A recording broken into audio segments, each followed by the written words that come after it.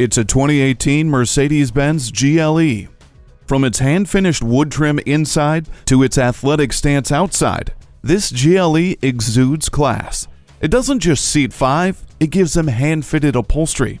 Or pop the power liftgate, fold down the 60-40 split rear seat, and there's over 80 cubic feet of cargo space.